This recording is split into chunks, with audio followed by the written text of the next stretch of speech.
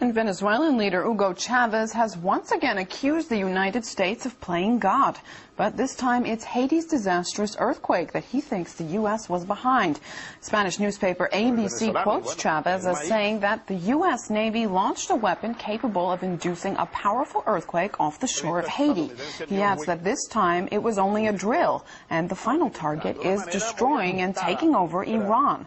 The existence of a tectonic weapon has never been proved, but its use is often suspected by conspiracy theorists. For example, the leader of Georgia's Green Party accused Russia of being behind an earthquake on Georgian territory in 2002.